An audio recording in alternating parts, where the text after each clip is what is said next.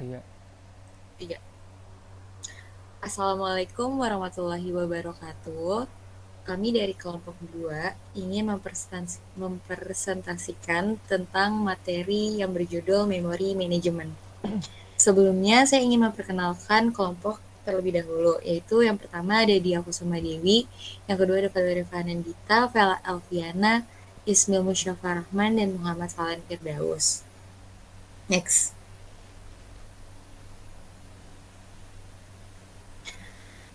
Baik, sebelum kita menjelaskan tentang memori manajemen, kita harus tahu dulu uh, apa dasar dari memori. Dan yang pertama itu ada pengertian dasar memori. Salah satu aspek penting dalam perencanaan suatu sistem operasi adalah pengelolaan memori. Tugas utama dari sistem operasi untuk mengelola memori yang mana melibatkan peristiwa membawa masuk dan menukar keluar blok data dari memori sekunder. Nah, media penyimpanan data di dalam komputer disebut dengan memori atau storage. Memori terbagi menjadi dua, yaitu ada internal memory dan external memory. Internal memory itu memori yang terletak di dalam CPU atau disebut juga dengan internal storage. Internal memory terbagi menjadi dua, yaitu ada RAM dan ada ROM. RAM yang singkatannya yaitu Random Access Memory. Data yang disimpan dalam RAM digunakan oleh CPU secara real time untuk menjalankan komputer.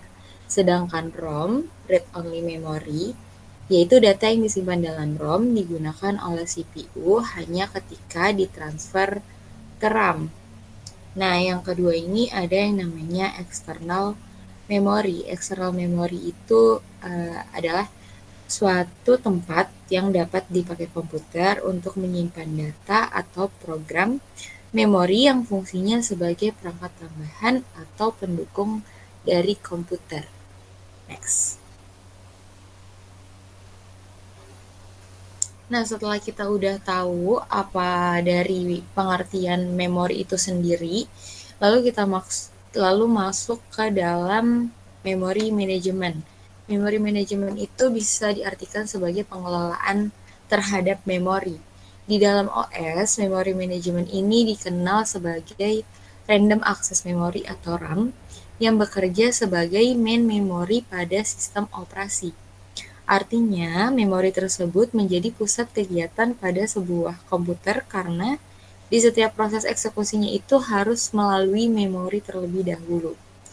Tapi ada juga yang melalui second mem secondary memory seperti hard disk, SSD, dan lainnya.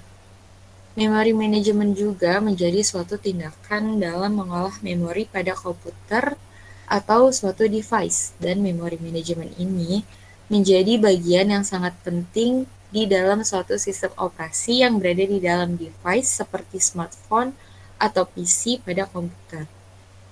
Next. Nah, output atau suatu kinerja yang dihasilkan dari memori itu biasanya tergantung dari komponen yang mereka miliki ini memadai atau tidak, seperti jumlah memori yang dipakai, itu penyimpanannya besar atau tidak di dalam sistem uniprogramming.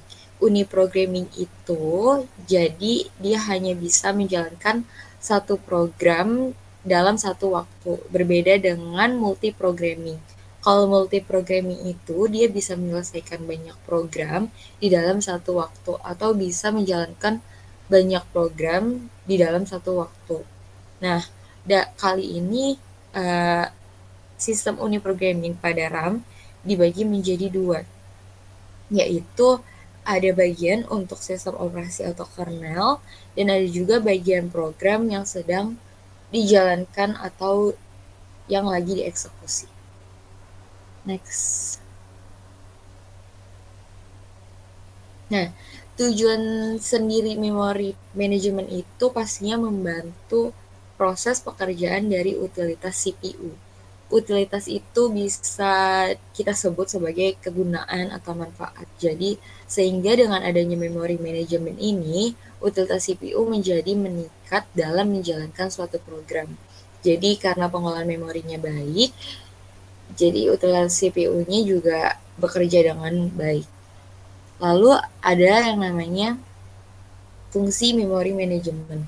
Tujuan dengan fungsi manajemen tidak jauh berbeda, yaitu yang pertama ada yang namanya mengelola informasi baik yang dipakai maupun tidak dipakai. Yang kedua itu meningkatkan kinerja dan memberikan utilitas atau manfaat dari CPU. Terus mengalokasikan memori ke proses yang memerlukan meningkatkan efisiensi dalam melakukan transfer data, lalu melakukan swapping atau paging antara memori utama dan disk. Lanjut. Nah, selanjutnya yang kita bahas ini memory memory management requirement. Yang sebelumnya tadi itu kayak uh, dasar dari memory management itu. Nah, memory management requirement ini kayak bisa dibilang persyaratan dari memory management. Memory management memiliki beberapa persyaratan yang dimaksudkan untuk memuaskan kinerja. Jadi ada beberapa persyaratan uh, buat memuaskan kinerja dari PC ini. Persyaratannya itu uh, ada lima. Yang pertama ada relocation, ada protection, ada sharing, logical, organization sama physical organization. Next. Yang kita bahas kali ini yang pertama yaitu ada yang namanya relocation. Relocation kalau di bahasa Indonesia ini tuh artinya relokasi ya. Nah, dalam sistem multiprogramming, main memory yang tersedia umumnya dibagi di antara sejumlah proses Biasanya, para programmer tidak dapat mengetahui program mana yang akan berada di memori pada saat mengeksekusi programnya. Setelah program dieksekusi, kemungkinan program tersebut di-swap ke disk atau hard disk, nantinya proses akan sangat membatasi untuk menentukan bahwa ketika program di-swap kembali, program itu harus ditempatkan di wilayah memori utama yang sama seperti sebelumnya. Sebagai gantinya, kita mungkin perlu relocate proses ke area memori yang berbeda. Nah, jadi maksud relocation di sini itu kayak ketika program di swap ke memori disk, maka tidak selalu maka tidak selalu program tersebut akan kembali ke memori utama. Kenapa? Karena lokasi tersebut pada memori utama mungkin masih ditempati oleh proses lain. Maka dari itu kita harus memindahkan proses ke area memori yang berbeda. Dengan demikian, ada kemungkinan bahwa program dapat dipindahkan di memori utama karena dia swapping. Next. Nah, yang kedua dari memory management requirement ini namanya protection. Kalau dalam bahasa Indonesia ini perlindungan. Nah, setiap proses harus dilindungi dari gangguan yang tidak diinginkan oleh proses lain, baik disengaja atau tidak disengaja. Di satu sisi, pemenuhan persyaratan relokasi meningkatkan kesulitan memenuhi persyaratan perlindungan, karena lokasi program biasanya tidak diketahui oleh pemrogram. Tidak mungkin untuk memeriksa alamat absolut atau benar, bernilai tetap. Pada waktu kompilasi untuk memastikan perlindungan, selain itu, sebagian besar bahasa pemrograman memungkinkan melakukan perhitungan alamat yang dinamis pada saat dijalankan. Semua referensi memori yang dihasilkan oleh suatu proses harus diperiksa pada saat dijalankan untuk memastikan referensi tersebut hanya merujuk ke ruang memori yang dialokasikan untuk proses tersebut. Untungnya, kita akan melihat bahwa mekanisme yang mendukung relokasi juga mendukung untuk persyaratan perlindungan. Jadi, dalam pemrosesan suatu program, dalam waktu yang sama bisa saja dapat terjadi suatu bahaya. Maka setiap proses harus dilindungi dari gangguan yang tidak diinginkan.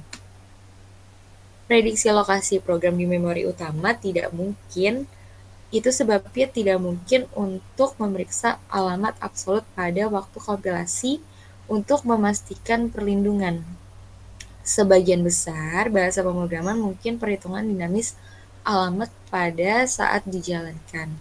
Nah, persyaratan perlindungan memori harus dipenuhi oleh prosesor daripada sistem operasi karena sistem operasi hampir tidak dapat mengontrol suatu proses ketika menempati prosesor.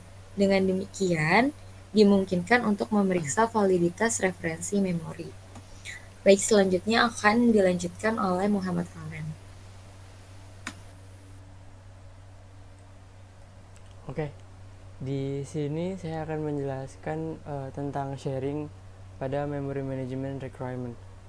Sharing ini uh, adalah sebuah main memory yang diakses oleh beberapa proses yang memiliki banyak atau satu program yang sama dengan bekerja secara langsung.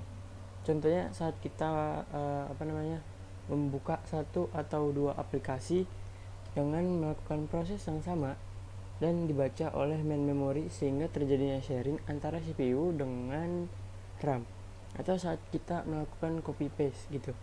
Terus uh, setiap proses mekanismenya itu harus diproteksi dan memiliki fleksibilitas untuk memungkinkan beberapa proses mengakses bagian yang sama dari main memory. Misalnya uh, jika sejumlah proses menjalankan program yang sama, akan lebih baik jika setiap prosesnya ini uh, mengakses salinan program yang sama daripada memiliki salinan sendiri yang terpisah.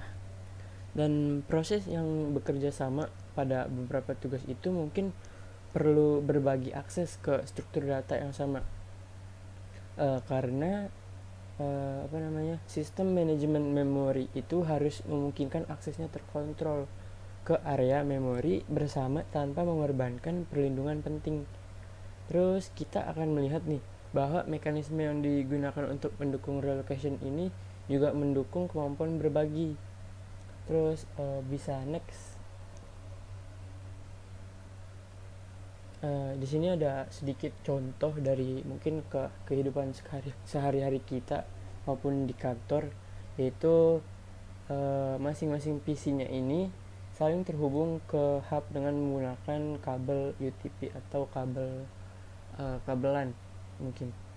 Jadi kita uh, apa namanya karena kita udah uh, karena PC-nya ini udah terhubung ke hub terus salah satu PC-nya juga ini terhubung ke printer server jadi kita nggak perlu nih e, membeli banyak printer hanya untuk masing-masing PC.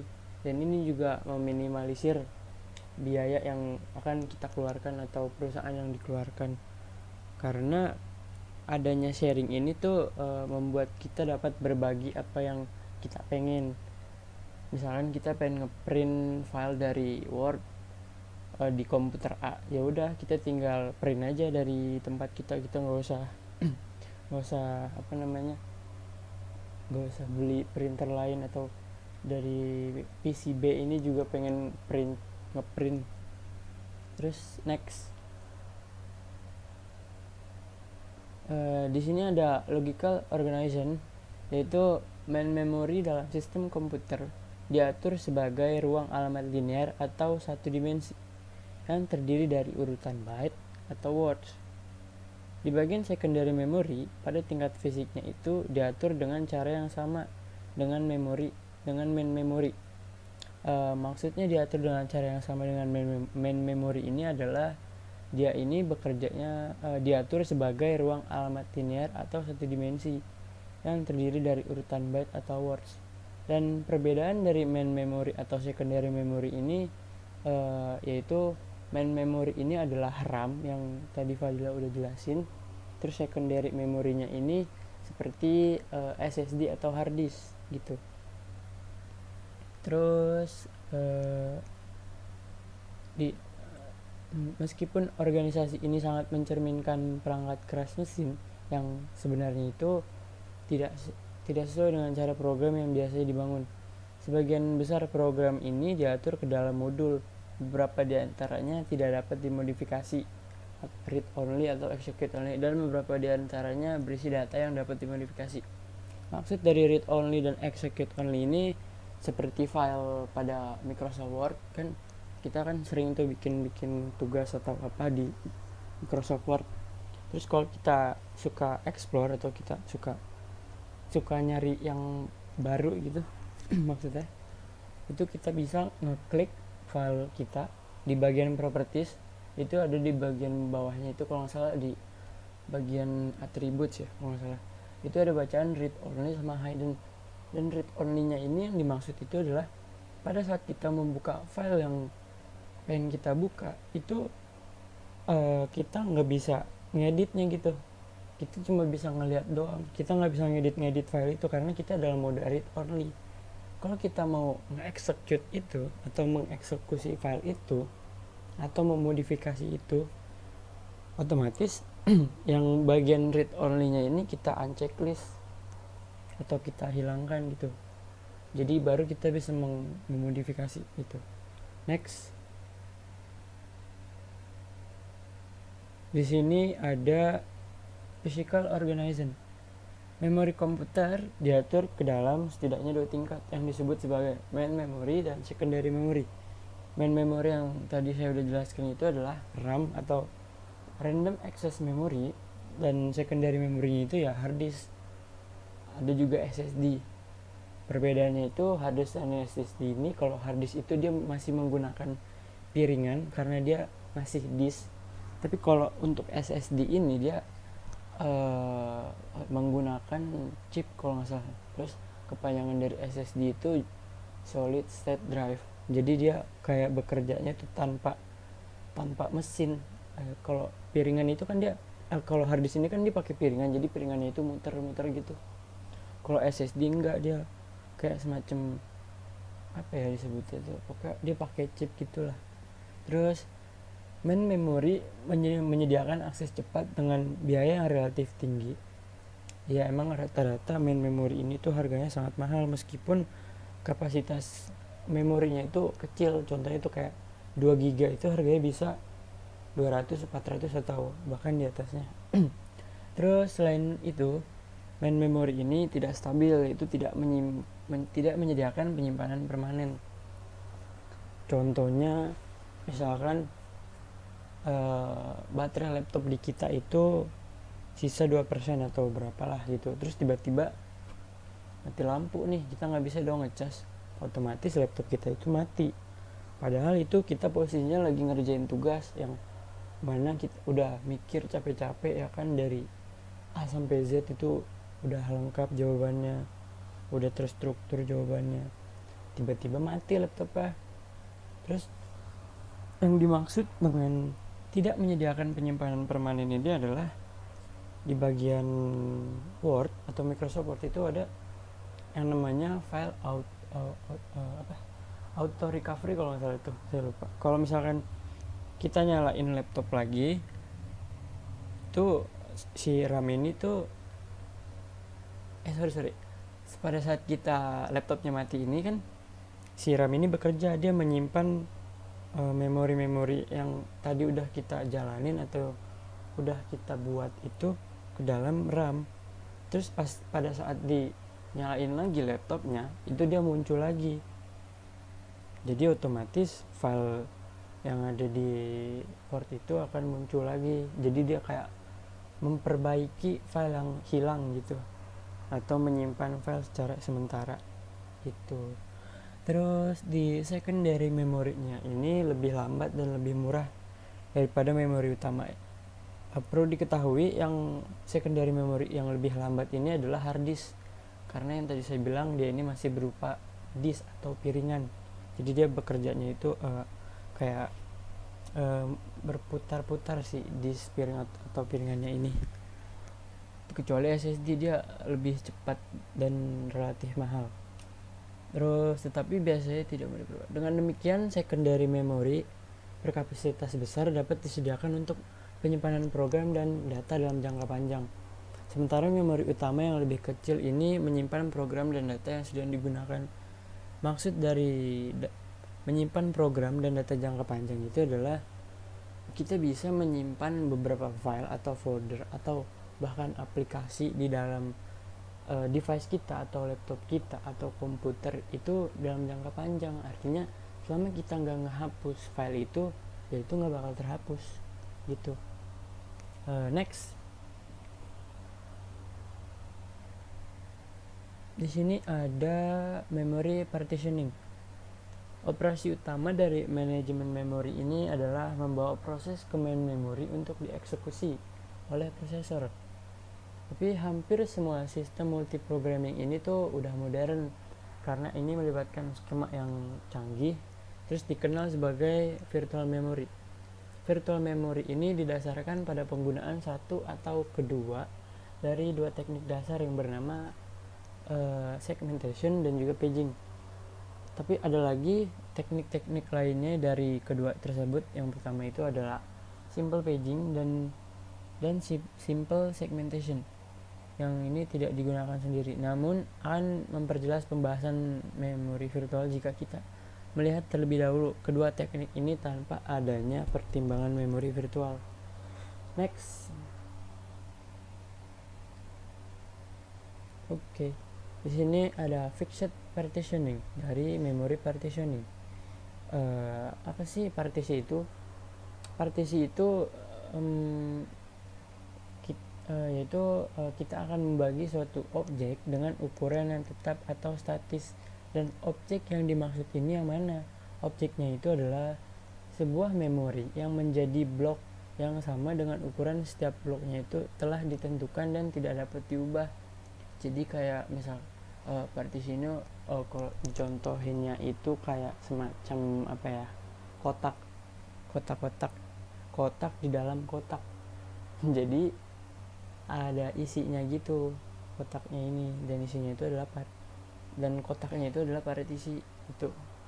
Terus contohnya misalkan kita eh, mau mendekor sebuah kamar demi kenyamanan pribadi kita otomatis kan kita akan membuat desainnya kayak kita mau kasih warna apa nih terus temanya itu kayak gimana uh, furniturnya itu kayak gimana terus apa aja pokoknya segala macam lah dipikirin buat kamar yang mau kita tempatin ini. Pada saat udah dirubah atau udah dilakuin udah direkor didekorasi di diganti catnya di diisi lagi furniture atau diganti furniture yang jadi yang baru. Tiba-tiba kita pengen rubah nih yang tadinya udah kayak udah jadi banget nih 100% udah kayak wih udah jadi nih. Terus kita tiba-tiba pengen ngerubah kayak pengen lebih yang bagus lagi gitu. Itu nggak bisa kalau di fixed partitioning. Dan itu tuh butuh perjuangan yang keras untuk merubah itu. Karena ini bersifat statis. Tidak mudah untuk dirubah tetapi bisa dirubah dengan menggunakan perjuangan yang sangat keras. Gitu. Terus dalam kebanyakan skema untuk manajemen memori kita dapat mengasumsikan OS menempati beberapa bagiannya tetap dari main, main memory dan sisa main memory tersedia untuk digunakan oleh banyak proses. Skema paling sederhana untuk mengelola memori yang tersedia ini adalah dengan mempartisinya menjadi wilayah dengan batas tetap. Terus uh, ada namanya partition size. Dalam hal ini Apa pun proses yang ukurannya kurang dari satu atau sama dengan ukuran partisi dapat dimuat ke partisi yang tersedia. Jika semua partisinya ini udah penuh gitu dan tidak ada proses dalam ready atau running status, sistem operasi ini dapat menukar proses dari salah satu partisinya dan membuat dalam proses lain. Jadi ada beberapa pekerjaan untuk proses di partition size ini juga ada dua kesulitan dengan penggunaan partisi tetap yang berukuran sama. Yang pertama, sebuah program mungkin terlalu besar untuk dimasukkan ke dalam partisi. Karena di dalam hal ini uh, apa namanya? Uh, programmer harus mendesain program dengan penggunaan overlay sehingga hanya sebagian dari program itu perlu berada di memori utama atau main memory pada satu waktu terus ketika modul dibutuhkan itu nggak ada program nih harus program si program pengguna ini tuh harus membuat gitu modul ini ke dalam program partisi. Biar overlay programnya itu atau datanya itu tuh ada. Terus yang kedua ini ada pemanfaatan main memory sangat yang sangat tidak efisien.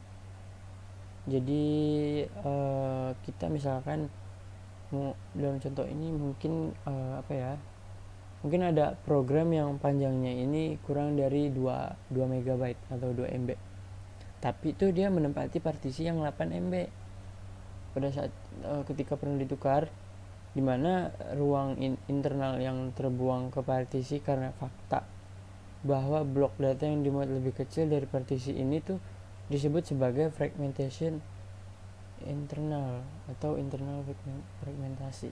Oke, okay, next. Di sini ada placement algorithm. Uh, dengan partisi yang berukuran sama, penempatan proses di memori itu hal yang mudah karena selama ada partisi yang tersedia, sebuah proses dapat dimuat ke dalam partisi itu. Karena semua partisi ini memiliki ukuran yang sama, uh, tidak masalah atau nggak masalah kayak yang mana partis pada saat digunakan. Jika semua partisi ditempati oleh proses yang nggak siap untuk dijalankan maka salah satu dari proses itu tuh harus di swap atau ditukar gitu untuk dikasih ruang bagi proses baru.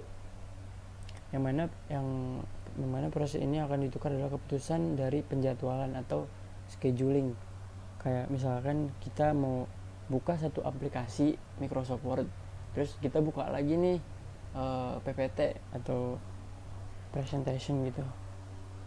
Dan itu tuh butuh waktu itu butuh proses. Dan ada jadwalnya misalkan membuka Microsoft ini dalam waktu 0,8 detik. Terus membuka PPT-nya ini 2 detik. Dan itu dilakukan dengan proses penjadwalan atau scheduling Terus keuntungan dari pendekatan ini adalah proses selalu ditugaskan sedemikian rupa untuk meminimalkan memori yang terbuang dalam partisi di dalam fragmentasi internal. Meskipun teknik ini tampak optimal dari sudut pandang partisi individu, itu nggak optimal dari sudut pandang sistem secara keseluruhan. Oke, okay, next. Di sini ada gambar dari uh, fixed partitioning yang mana ada dua gambar yang berbeda. Yang pertama itu dia memiliki banyaknya proses. Yang kotak-kotaknya itu dia memiliki banyaknya proses. Kenapa? Karena prosesnya itu berisikan uh, ini apa um, kayak misalkan di proses yang paling atasnya itu 2 MB terus yang bawahnya itu 4 MB atau di bawahnya itu 8 MB dan seterusnya. Tapi itu tuh be bekerjanya secara fixed partitioning. Meskipun ukurannya berbeda tapi dia tetap sama. Misalkan kayak contohnya itu kalau di mana namanya uh, restoran. Misalkan restoran kan pasti ada ini ya ada pelayannya terus ada kokinya ada bagian kasir si pelayan kan pasti kan melayani pelanggan kan kayak ngasih daftar menunya. Setelah daftar menu ini dipilih oleh pelanggan terus kan dikasih nih menunya nih ke pelayan. Pelayan ngasih dong ke apa namanya ke koki. Kokinya ini membuatin makanannya untuk pelanggan. Dan pada saat udah jadi makanan itu berarti kan si pelayan ngasih ke pelanggan kalau udah selesai berarti kan tidak e, melakukan proses pembayaran atau transaksi. Dan di bagian yang A ini maksudnya adalah dia tuh bekerjanya secara berkelompok. Ada bagian-bagian tersendirinya. Ada yang bagian ngurusin pelanggan ada yang bagian masak ada yang bagian transaksi atau pembayaran gitu. Terus kalau yang di gambar sampingnya itu yang cuma satu apa namanya kayak satu satu satu sih satu proses doang gitu dia ya semuanya melakukannya sendiri tapi dia sama gitu bentuknya sama. Meskipun ukurannya itu uh, e, meskipun satu proses dia ukurannya tetap sama karena dia fixed partitioning. Gitu. Oke selanjutnya akan dilanjutkan oleh dia. Uh, baik. Di sini saya akan menjelaskan Penggunaan partisi dengan ukuran yang tidak sama akan memberikan tingkat fleksibilitas untuk partisi tetap. Nah, selain itu dapat dikatakan juga bahwa skema partisi tetap relatif sederhana dan memerlukan perangkat lunak OS minimal dan overhead pemrosesan. Namun ada juga nih kekurangannya. Untuk yang pertama yaitu uh, jumlah partisi yang ditentukan pada waktu pembuatan sistem membatasi jumlah proses aktif atau tidak ditangguhkan dalam sistem. Nah, yang kedua itu ya, uh, karena ukuran partisi telah diatur sebelumnya pada waktu pembuatan sistem, pekerjaan kecil tidak akan menggunakan ruang partisi secara efisien. Di sini juga ada pun salah satu contoh sistem operasi yang berhasil menggunakan teknik ini yaitu ada sistem operasi mainframe IBM, IBM awal, kemudian OS atau MVT atau multi programming with a fixed number of tasks. Nah, kemudian yang kedua dari memory partitioning yaitu ada dynamic partitioning. Nah, untuk mengatasi beberapa kesulitan dari partisi tetap, pendekatan yang dikenal sebagai partisi dinamis ini pun dikembangkan. Sekali lagi, pendekatan ini telah digantikan oleh teknik manajemen memori yang lebih canggih. Nah, sistem operasi penting yang menggunakan teknik ini sama seperti contoh yang tadi saya sebutkan, yaitu sistem operasi mainframe IBM, kemudian OS atau MVT Multi Programming with a Variable Number of Tasks, uh, dengan partisi dinamis, uh, partisi memiliki panjang dan jumlah variabel. Ketika sebuah proses dibawa ke memori utama, itu akan dialokasikan persis sebanyak memori yang dibutuhkan atau tidak lebih. Jadi maksudnya itu ukuran dan banyaknya partisi akan menyesuaikan sesuai dengan kebutuhan. Nah, di sini ada contoh gambar dari dynamic partitioning yang menggunakan hmm, 64 MB. Nah, dari 64 MB yang pertama itu digunakan sebesar 8 MB untuk operating system. Nah, sisanya ini digunakan untuk proses atau program dari user. Nah, kita lihat di gambar yang B ini ada proses mas proses masuk yaitu proses 1 dengan ukuran 20 20 MB. Nah, sisanya yaitu 36 MB. Se uh, kemudian ada pun proses-proses lainnya yang masuk ke dalam uh, dynamic partitioning ini hingga proses 3 kita lihat pada gambar yang D ini menyisakan ruang sebesar 4 MB. Nah, dalam proses ini pun ada proses masuk dan keluar. Kita bisa lihat di gambar yang E. Nah, kita lihat di sini uh, gambar proses proses 2-nya keluar sehingga yang kosong itu ada 14 MB dan 4 MB. Setelah proses 2 masuk, kemudian proses 4 pun masuk. Dia menyesuaikan sesuai ukurannya, yaitu 8 MB. Kemudian proses 1 pun keluar, kemudian proses 2 kembali masuk. Nah, jadi sehingga di sini yang kosong ini yang 6 MB, 6 MB dan 4 MB ini disebut juga, disebut juga sebagai fragmen, fragmentasi eksternal. Uh. Eh, seiring berjalannya waktu, memori menjadi semakin terfragmentasi dan pemanfaatan memori pun menurun. Fenomena ini disebut sebagai fragmentasi eksternal yang tadi saya sebutkan, uh, yaitu menunjukkan memori yang berada di luar semua partisi menjadi semakin terfragmentasi.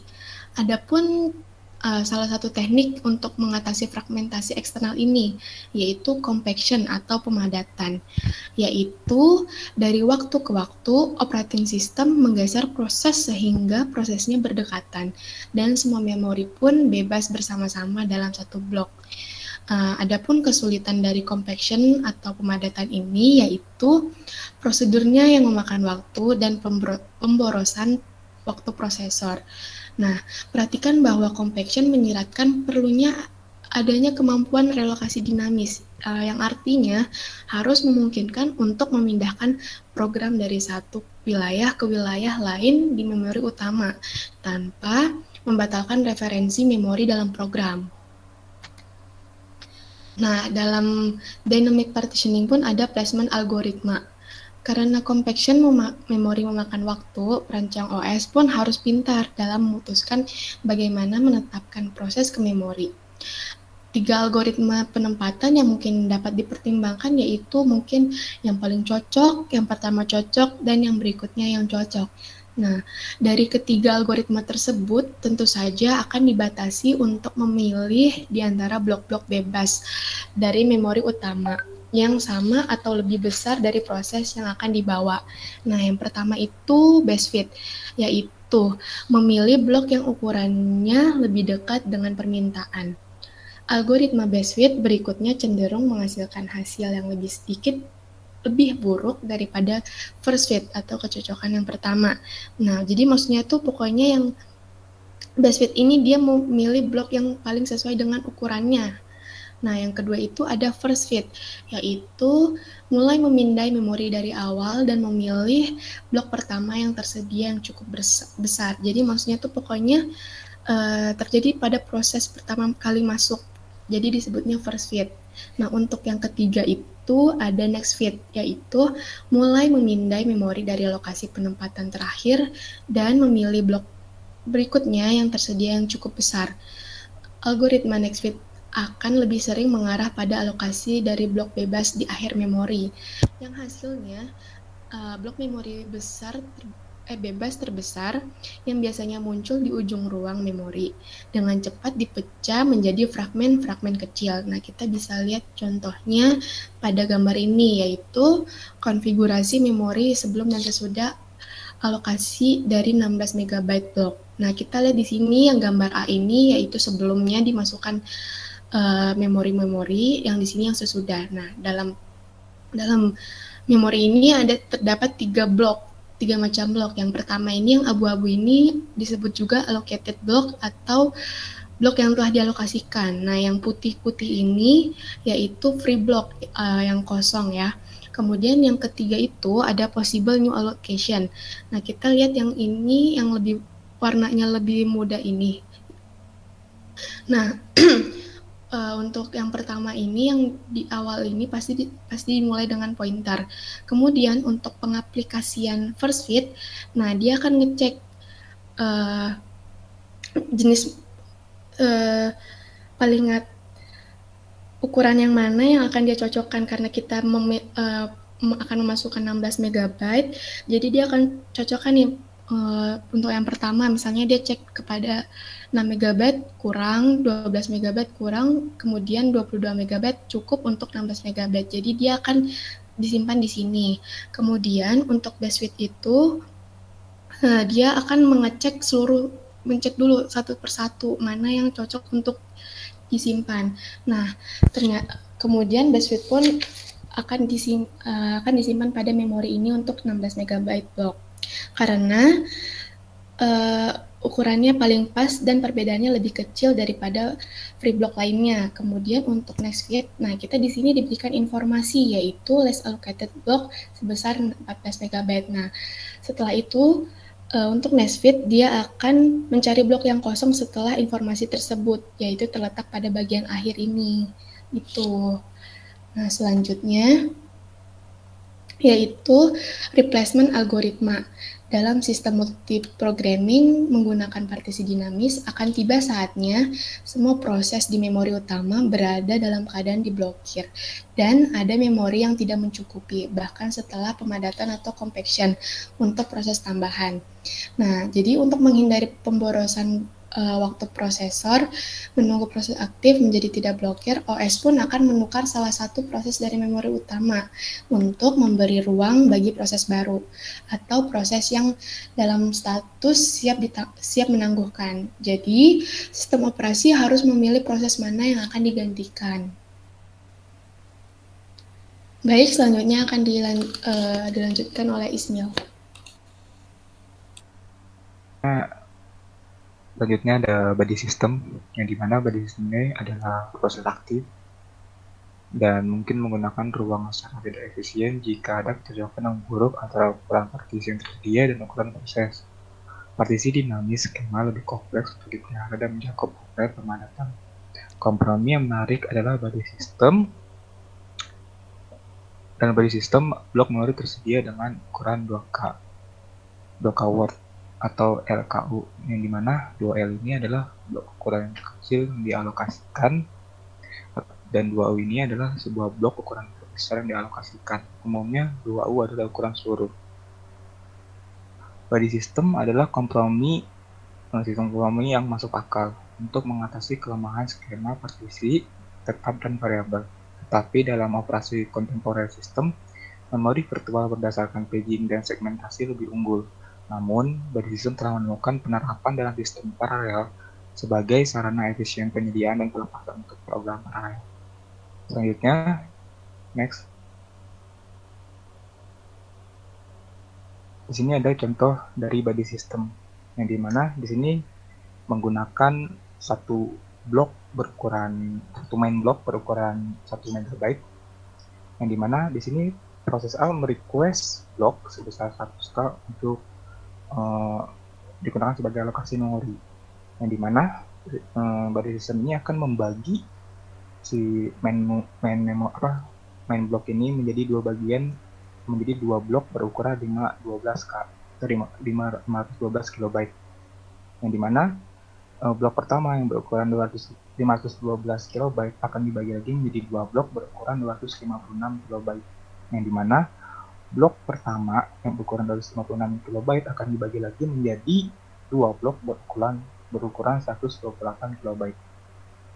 Nah, dikarenakan uh, blok yang berukuran 128 KB ini sudah memenuhi syarat uh, atau memenuhi request dari proses A yang minta 100 KB uh, blok untuk dijadikan alokasi, maka proses A akan dialokasikan ke blok pertama yang berukuran 128 KB. Nah, sedangkan untuk proses B yang meminta alokasi memori sebesar 120 240 KB akan diassign pada blok kedua yang berukuran 256 KB. Selanjutnya pada uh, proses C, proses C merequest 64 KB blok untuk dijadikan alokasi memori. Yang di mana blok kedua yang berukuran 128 KB akan dibagi menjadi dua blok berukuran 64 KB. Dan C akan desain pada blok pertama yang berukuran 64 KB. Selanjutnya ada proses D yang merequest meminta blok berukuran 256 kilobyte untuk di apa untuk dijadikan alokasi memori. Yang di mana uh, di blok pertama yang berukuran 512 kilobyte sudah tidak ada dan uh, blok kedua yang dan akan digunakan blok kedua yang berukuran 512 kilobyte uh, yang akan dibagi menjadi dua blok berukuran 256 kilobyte yang di mana blok pertama yang berukuran 256 kilobyte akan desain dengan um, proses C proses D sorry proses D yang akan desain dialokasikan ke hmm, blok pertama yang berukuran 256 kB. Selanjutnya uh, perilisan uh, proses B yang di mana di sini membuat blok kedua yang berukuran 256 kB akan menjadi uh, kosong. Selanjutnya uh, perilisan proses A atau melepaskan proses A yang di mana di sini membuat blok pertama yang berukuran 128 KB akan menjadi kosong karena tidak ada uh, proses yang dialokasikan pada blok tersebut. Selanjutnya di sini proses ini merequest atau meminta blok 175 KB untuk uh, dijadikan alokasi memori yang di mana di sini uh, 75 uh, proses ini tidak bisa dialokasikan di blok yang berukuran 64 KB karena di situ masih kurang dari request atau tidak memadai atau tidak me, uh, mencukupi untuk uh, dialokasikan untuk proses I sehingga yang paling cocok untuk proses I adalah dialokasikan pada memori pada blok pertama yang berukuran 128 KB. Selanjutnya adalah um, melepaskan proses C dari blok yang berukuran 64 pada blok pertama yang berukuran 64 KB sehingga uh, blok pertama yang berukuran 64 KB menjadi kosong yang tidak ada proses yang dialokasikan pada blok tersebut sehingga akan kembali menjadi satu yang di mana 64 dua blok 64 akan kembali menjadi satu menjadi satu blok berukuran 128 KB selanjutnya di saat uh, prosesi dikeluarkan maka proses maka blok pertama yang berukuran 128 KB akan menjadi uh, menjadi kosong. Tidak ada uh, proses yang dialokasikan pada blok tersebut. Sehingga uh, 122 blok berukuran 128 KB itu kembali menjadi satu menjadi ukuran 256 KB dan dikarenakan blok kedua yang berukuran 256 KB tidak ada proses juga yang dialokasikan pada blok tersebut akan kembali lagi menjadi satu menjadi uh, blok berukuran 512 KB. Selanjutnya, untuk hmm, melepaskan proses D pada blok pertama berukuran 256 KB sehingga uh, blok pertama yang berukuran 256 KB akan menjadi kosong karena tidak ada proses yang dialokasikan pada blok tersebut sehingga blok, dua blok berukuran 256 KB tersebut akan kembali menjadi blok awal yang di mana satu blok berukuran 512 KB yang di mana dua blok 512 KB ini akan kembali menjadi blok seperti blok awal main blok sebesar 1 MB blok. Next. Selanjutnya sini ada three representation of the body system. Di sini menjelaskan bagaimana si body system ini um, membagi akan terus membagi blok untuk memenuhi uh, request dari proses tersebut. Seperti contoh di sini, seperti yang tadi, 1 MB blok ini akan dibagi menjadi uh, dua blok berukuran 512 KB. Yang di mana uh, proses A meminta um, 128 KB sebagai alokasi memori, di mana uh, blok pertama yang berukuran 512 KB akan dibagi lagi menjadi dua blok berukuran 256 KB. Dan blok pertama yang berukuran 256 KB akan dibagi lagi menjadi dua blok berukuran 128 KB.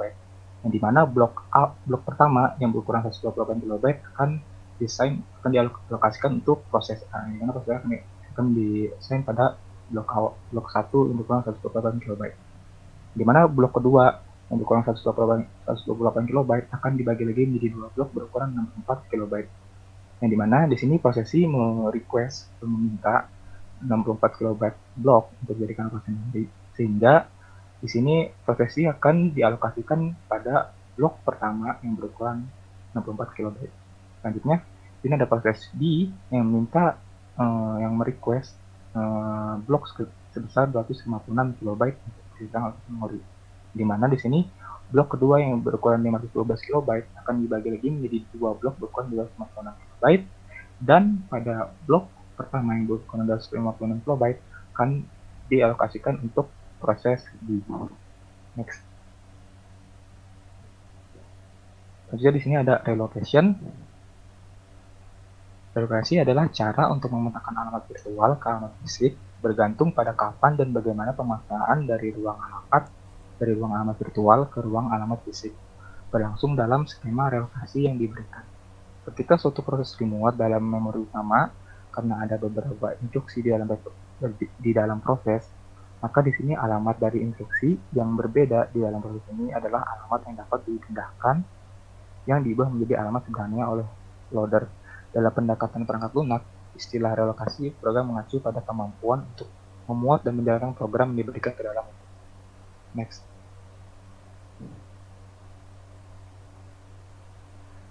Selanjutnya pada uh, gambar berikut menunjukkan uh, apa gambar yang di sini menunjukkan gambar hardware support pada relocation yang di mana gambar berikut menunjukkan bagaimana caranya biasanya sebuah address itu atau sebuah alamat itu diterjemahkan yang di mana hardware system diperlukan untuk menerjemahkan relatif address menjadi relatif address menjadi physical address pada saat sebuah proses dieksekusi.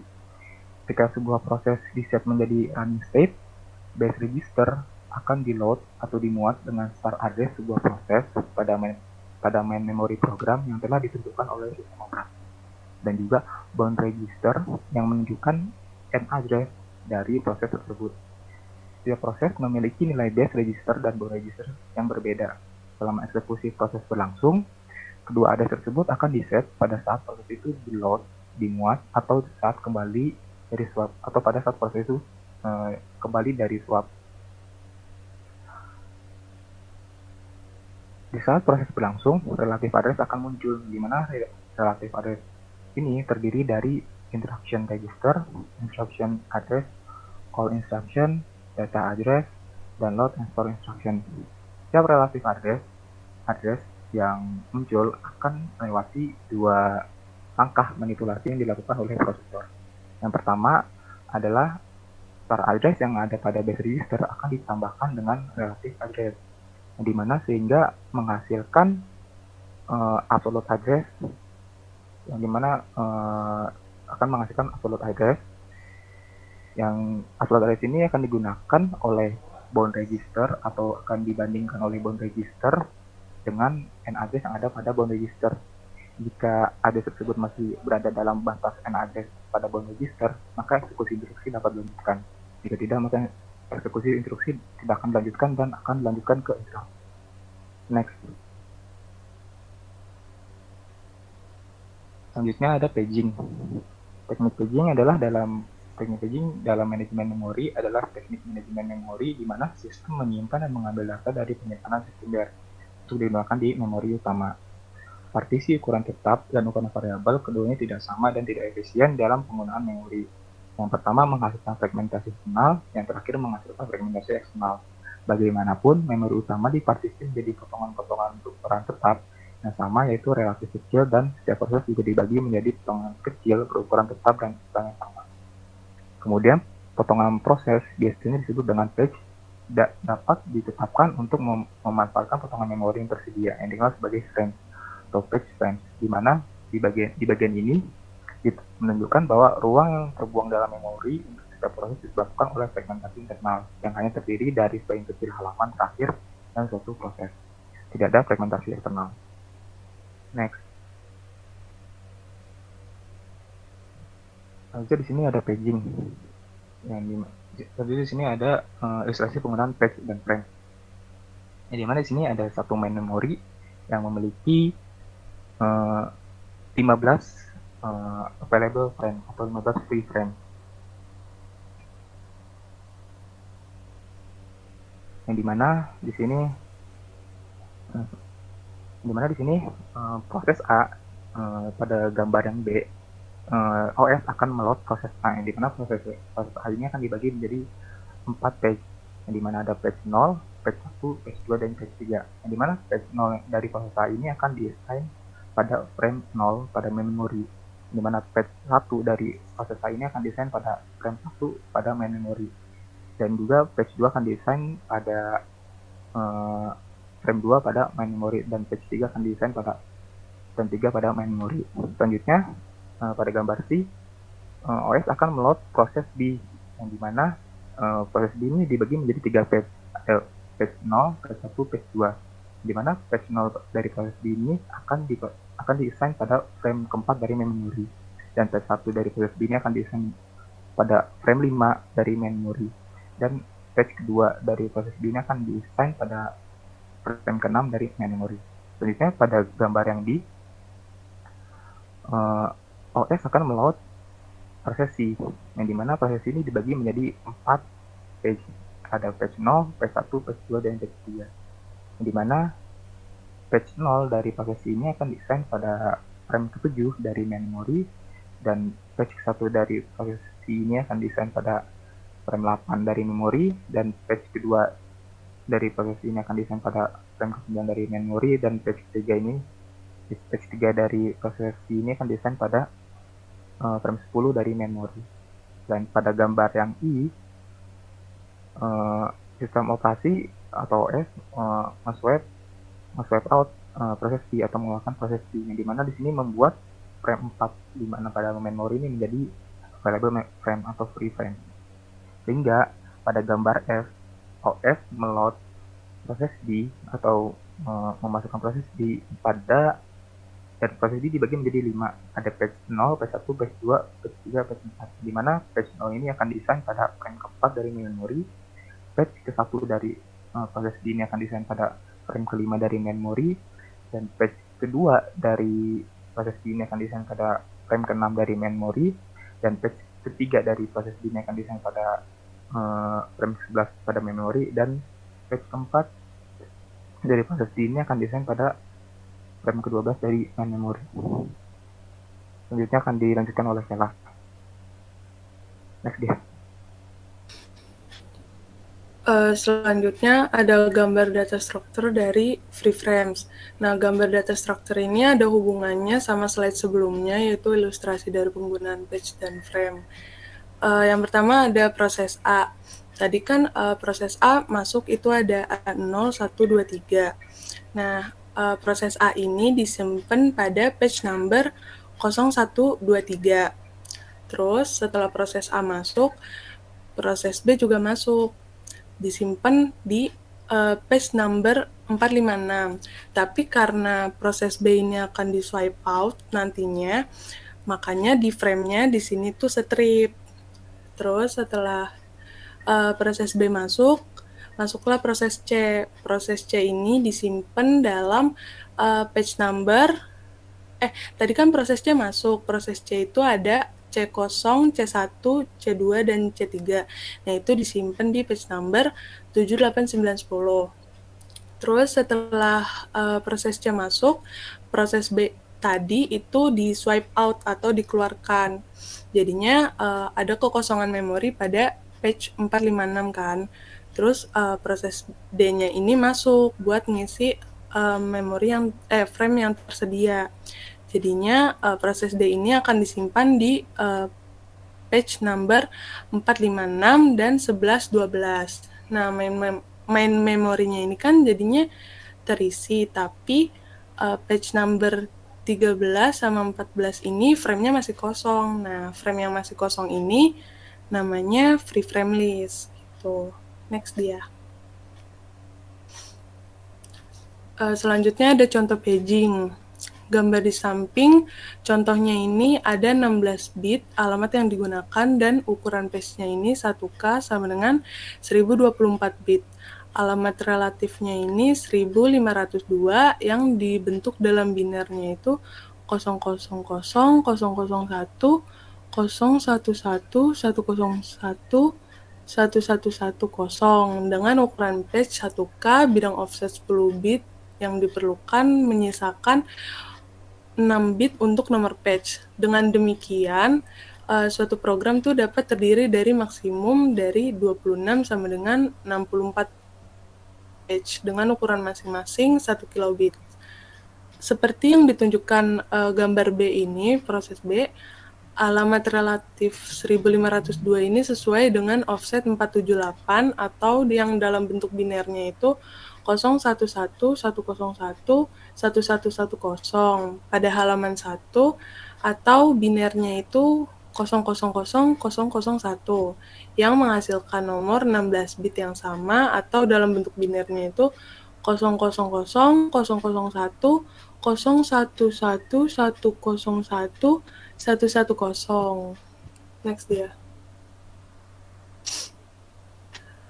Uh, selanjutnya ada konsekuensi menggunakan ukuran patch yang merupakan kekuatan dua kali lipat. Yang pertama itu ada skema the logical addressing transparan.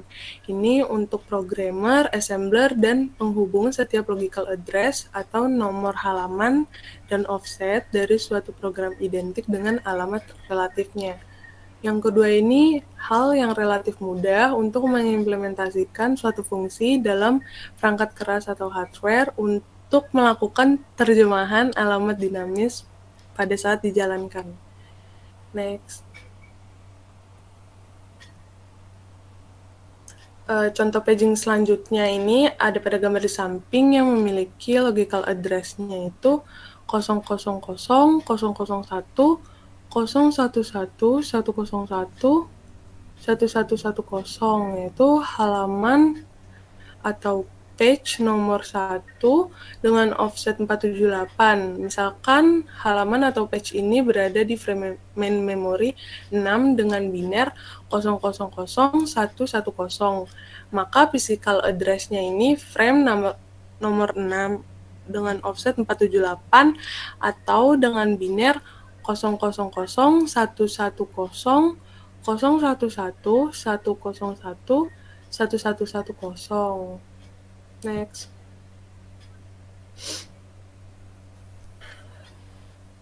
Nah, jadi dapat disimpulkan dengan paging, sederhana, main memory akan dibagi menjadi kecil-kecil dan membentuk banyak frame dengan ukuran sama. Setiap prosesnya dibagi menjadi page ukuran frame. Proses yang lebih kecil membutuhkan lebih sedikit patch, dan proses yang lebih besar membutuhkan lebih banyak patch. Ketika sebuah proses dibawa, semua patch ini dimuat ke dalam frame yang tersedia, dan table patch ini akan disiapkan. Pendekatan ini memecahkan banyak masalah yang melekat dalam partisi. Jadi kalau masih bingung, uh, ada page, paging, dan frame. patch ini uh, membagi-bagi proses menjadi bagian-bagian kecil yang ukurannya sama dengan bagian-bagian memori. Nah, kalau paging ini proses dari patch, jadi jadi dia membagi memori menjadi blok-blok dengan ukuran tetap. Ini mirip uh, fixed partitioning, tapi ukuran bloknya itu lebih kecil. Nah, kalau framenya itu blok yang di paging dengan ukuran tetap yang berada pada memori fisik. Gitu. Next dia. Selanjutnya ada segmentation. Program pengguna dapat dibagi lagi menggunakan segmentasi, di mana program dan data terkaitnya dibagi menjadi beberapa segmen. Tidak semua segmen dari semua program harus memiliki panjang yang sama, meskipun ada segmen maksimum panjang. Sebuah program adalah kumpulan segmen. Suatu segmen adalah unit logika seperti program utama, prosedur, fungsi, metode, objek, variabel lokal, variabel global, blok umum, stack, tabel simbol, array, dan lain-lain. Next ya. Uh, sama seperti paging, logical address menggunakan segmentasi terdiri dari dua bagian dalam hal ini yaitu nomor segmen dan offset. Karena penggunaan segmen dengan ukuran yang tidak sama, segmentasi ini mirip dengan partisi dinamis, dengan tidak adanya skema overlay atau penggunaan memori virtual yang akan diperlukan bahwa semua segmen program dimuat ke dalam memori untuk dieksekusi. Perbedaan dengan partisi dinamis yaitu kalau segmen itu programnya dapat menempati lebih dari satu partisi dan partisi ini tidak perlu berdekatan. Nah, terus juga segmentasi menghilangkan fragmentasi internal, tapi dia mirip juga partisi, sama partisi dinamis, dia juga mengalami fragmentasi eksternal. Tapi karena suatu proses dipecah lagi menjadi beberapa bagian yang lebih kecil, fragmentasi eksternal di sini harus lebih sedikit. Gitu. Next ya. Uh, selanjutnya di sini ada contoh dari segmentation. Ini gambarnya deh. Nah tadi kan uh, udah lihat gambarnya. Terus contohnya ini uh, misalkan alamat logisnya itu binernya 001 00 0001 001 011 110 yang merupakan nomor, nomor segmen 1 dengan offset 75 752. Misalkan segmen ini berada di main memory mulai dari alamat fisik dengan biner 001 000 000 000 010 0000. Maka alamat fisiknya ini adalah nomor segmen ditambah offset. Jadi ini nomor segmennya yang depan terus ditambah offset. Jadi hasilnya itu 001 000 110 001 0000. Untuk meringkasnya dengan segmentasi sederhana, suatu proses dibagi menjadi beberapa segmen yang tidak perlu berukuran sama. Ketika sebuah proses di bawah, semua segmennya ini dimuat ke wilayah memori yang tersedia dan tabel segmen disiapkan. Jadi, uh, segmentasi ini merupakan salah satu bagian dari man manajemen memori yang berusaha untuk membuat atau mempartisi ruang memori dengan ukuran yang jauh lebih kecil dari partisi yang biasa. Nah, karena sebelum segmentasi ini membahas paging, jadi uh, program dan data yang dibagi eh, program dan data yang dibagi dalam paging ini disebutnya segmen. Nah, segmen ini bloknya eh blok memorinya ini ukurannya bervariasi gitu. Uh, sekian presentasi dari kelompok 2. Kurang lebihnya mohon maaf. Terima kasih. Wassalamualaikum warahmatullahi wabarakatuh.